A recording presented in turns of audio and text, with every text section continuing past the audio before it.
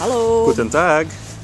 Conforme a gente prometeu no vídeo de sexta-feira, hoje nós vamos mostrar locações de filmes aqui em Berlim. Uhum. Uh, aqui a gente está num lugar um pouco mais diferente, talvez vocês não reconheçam diretamente, mas é aqui que mora a Lola, do Corra Lola Corra, também conhecido em alemão como Lola Rent.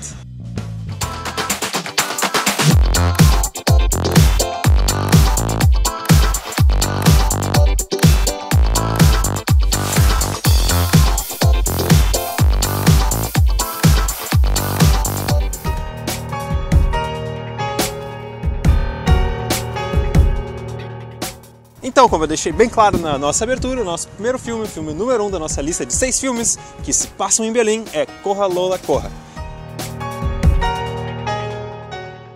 É um filme bastante legal, é um filme que foi feito no final da década de 90 e ficou bastante famoso mundialmente. É, a Lola ela corre pela cidade inteira, inclusive aqui, na Oberbaumbrücke. Esse filme foi filmado depois da queda do muro, caso contrário, ela não poderia atravessar essa ponte como ela faz no filme. E na verdade, a Berlim que eles mostram nesse filme é uma Berlim com passagens mágicas, aparentemente, porque ela tá num lugar, ela corre, ela já tá no outro. Vamos dar uma olhada no mapa como é que funciona essa correria da Lola. Tudo começa no bairro Mitte, na Albrechtstrasse, que é onde está o apartamento dela. Ela sai correndo e rapidamente vemos os trilhos entre Schallestrasse e Warschauerstrasse, que é onde ela atravessa a Oberbaumbrücke.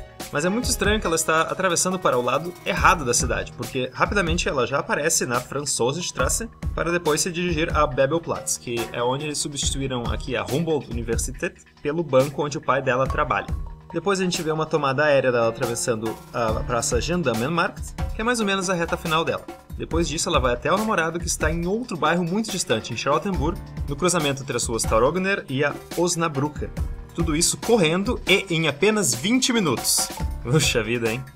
A Lola é um marco na minha vida, porque durante muito tempo as pessoas me perguntavam se eu por acaso era muito fã, ou se eu estava fazendo o cosplay de Lola. E eu nunca entendia isso, até o dia que eu fui olhar na internet quem era Lola, porque eu nunca tinha assistido o filme e não foi a minha surpresa que eu realmente estava fazendo cosplay de Lola por longos sete anos da minha vida sem saber.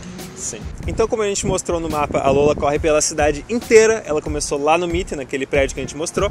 Agora nós estamos aqui em Friedrichshain, também no limite com Kreuzberg. Mas ela também passa correndo por Gendarmermarkt, que é onde estamos agora. Que ela passa correndo por aqui e não faz o menor sentido que ela tenha recém atravessado para o lado oriental e daí ela passa aqui que é no meio, quase no Mitte, né? E também nos dá a deixa para o nosso segundo filme, que é o Volta ao Mundo em 80 Dias. Uma corrida muito louca. Não é bem isso, né? Mas é uma coisa muito louca. Esse é um filme de 2004 de Hollywood com o Jack Chan. Uh, é uma comédia maluca baseada no filme, no livro do Julius Verne, uh, Volta ao Mundo em 80 Dias. E é uma adaptação para ser mais comédia, mais fanfarrão, mais pastelão. É, com certeza. E na verdade o filme não se passa em Berlim, ele se passa no mundo, né? volta ao mundo em 80 dias. Sim. E então a cena que representa Londres foi filmada aqui em Gendarmerie. E a cena que representa Paris foi filmada no Palácio de Charlottenburg, também aqui em Berlim, mas nunca é dito que eles estão em Berlim. Uhum. O item número 3 da nossa lista é o filme Operação Valkyria, que conta uma história verídica de quando Stauffenberg, interpretado pelo Tom Cruise no filme, tentou assassinar o Hitler. Criou toda um, uma trama para tentar assassinar ele. Uhum. Esse passa mais ou menos nesse bairro aqui, que era onde tinha a maioria das construções nazistas, inclusive este prédio, que ele é um dos únicos prédios nazistas que ainda sobraram aqui na cidade de Berlim. O governo alemão, no mundo real aqui, quando estavam tentando gravar esse filme, eles estavam pensando em não deixar, porque o Tom Cruise ele é cientologista e a, o governo alemão tem uma, uma relação muito ruim com essa igreja, né, com essa religião que eles chamam, com esse culto. Então ele tem muitas categorias diferentes, eles não sabem muito bem o que é, eles não gostam, basicamente. Mas eles deixaram porque essa é uma história importante, uma história que não foi muito bem contada antes desse filme. Algumas cenas do Operação Valkyria também foram filmadas nesse prédio aqui, onde hoje funciona o Memorial da Resistência Alemã, porque foi aqui que eles tramaram toda essa tentativa de matar o Hitler e também foi aqui que, infelizmente, depois eles acabaram sendo executados. O quarto filme da nossa lista se chama Desconhecido. Para mim, até então, ele era desconhecido até eu fazer a lista para esse vídeo aqui. Mas o que acontece é que o filme se passa em Berlim, se passa aqui na Pariser Platz e tem cenas aqui no portão de Brandemburgo também. O protagonista desse filme é o Liam Neeson. Uma das cenas mais bombásticas dele é quando explode o Hotel Adlon e ele também passa pela Oberbaumbrücke, que a gente mostrou anteriormente. Agora a gente está aqui no Alexanderplatz para falar sobre o filme Supremacia Born, que muitas pessoas já devem ter assistido, um filme de Hollywood de 2004 com Matt Damon. E além do Matt Damon também tem a atriz alemã que fez a Lola. Esse filme é uma super produção hollywoodiana, então ele tem muitas cenas aéreas e cenas incríveis da cidade. Dá pra ver aqui a Alexanderplatz, dá pra ver a Torre da TV, a Potsdamer Platz, a Oberbaumbrücke. Enfim, é muito legal, tem muitas vistas tanto de noite quanto de dia da cidade. Esse filme também tem uma cena que talvez não faça sentido nenhum para quem sabe os cantinhos de Berlim, que o Matt Damon tá correndo pela Kantstraße, então ele passa pela estação do zoológico e no, na próxima sequência ele já tá em Friedrichstraße, que é uma estação muito longe de, da estação do zoológico. Não faz sentido nenhum, mas para fins de Hollywood ficou ótimo. O Born ele meio que passeia por Berlim inteira, né? Ele chega pela Autobahn, ele vai pela Ostbahnhof e também ele encontra a Nick ali no Weltzeituhr, que é o relógio do mundo que tem todos os horários dos diversos pontos do mundo. Uma outra coisa muito interessante sobre o Born é que eles não só gravaram Berlim em Berlim, como eles também gravaram Moscou em Berlim. É, tem várias cenas pelas ruas de Berlim, por umas ruas menores, que eles disseram que era Moscou. Até algumas estações de trem eles meio que disseram que era em Moscou. Então, para quem assistiu o nosso vídeo de sexta-feira com os seis filmes para aprender alemão e história alemã, uhum. deve lembrar que a gente terminou aqui nessa estação. E agora nós vamos resolver o grande mistério de qual filme foi filmado aqui em Alexanderplatz. Sim, o nosso filme número 6 é Plano de Voo, com a Jodie Foster. É um filme que foi gravado por Hollywood, é um filme americano, mas com um diretor alemão. Então, na verdade, várias cenas elas não parecem Berlim, né? elas não remetem a Berlim, mas aqui em Alexanderplatz é muito fácil de ver que ela está em Alexanderplatz. Tem o um nomezinho na parede, tem os tijolinhos azuis e tem até uma cena que mostra meio que a estação em geral, né? E é a cena que tem a Judy Foster sentada chateada, esperando a morte chegar. Não sei o que ela está fazendo. A gente não, não viu o filme. A gente não viu o filme. Mas a gente viu fotos e é aqui. Estamos aqui em Alexanderplatz e esse é o último filme da nossa lista de hoje. Sim. Mas é claro que com esses filmes nós apenas arranhamos a superfície. Berlim é um lugar onde dezenas de filmes foram feitos durante décadas, né?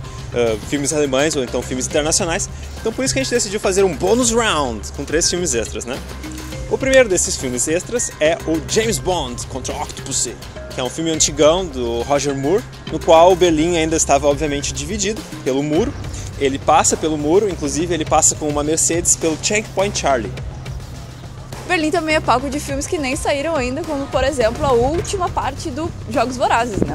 A Esperança Parte 2 foi filmado aqui em Berlim, o Distrito 2 foi filmado no aeroporto Tempelhof, a gente já mostrou, a gente já falou sobre isso. Sim.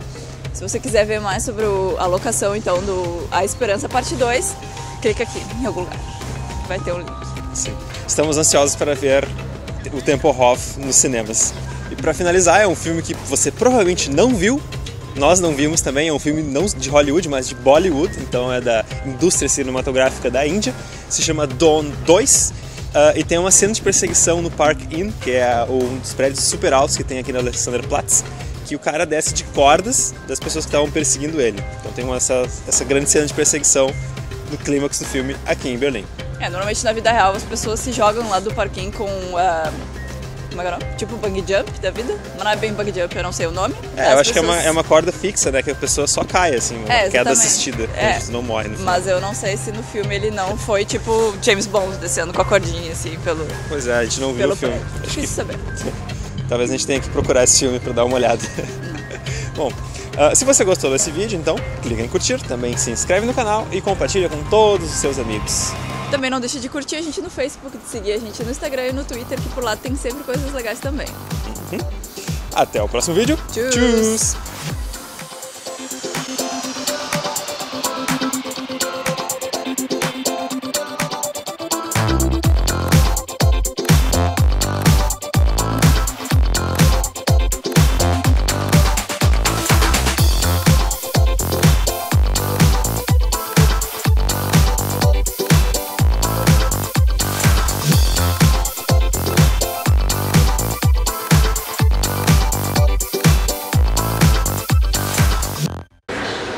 que assistiu o nosso vídeo da semana passada sobre filmes em alemão para aprender história alemão percebeu que a gente finalizou o vídeo aqui. E agora nós vamos revelar o grande mistério do trem